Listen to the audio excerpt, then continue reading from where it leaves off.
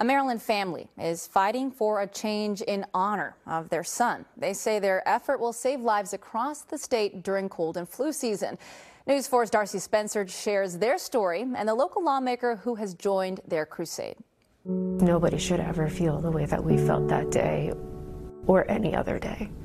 Brooke DeSantis is dealing with an immeasurable loss with strength and a sense of purpose. She lost her five year old son, Lochlin, a happy and fun loving boy, in January of 2020.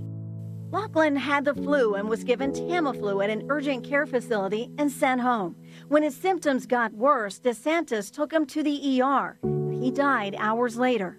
She later learned he had sepsis, the body's extreme reaction to an infection, although he was never tested for it.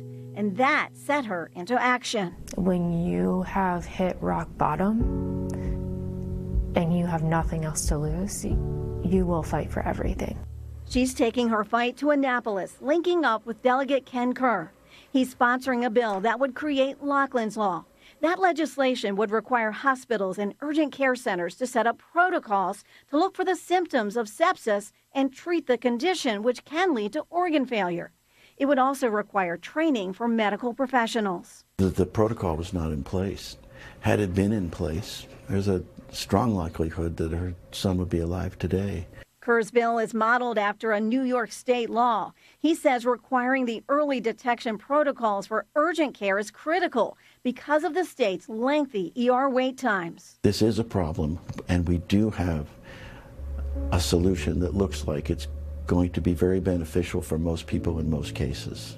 Brooke and her husband started the Love for Lochlin Foundation, helping cover the cost of vaccines. And now, with this legislation, they're hoping to continue saving lives in their son's memory. Lochlin is always with us. I will not stop fighting. Darcy Spencer, News 4.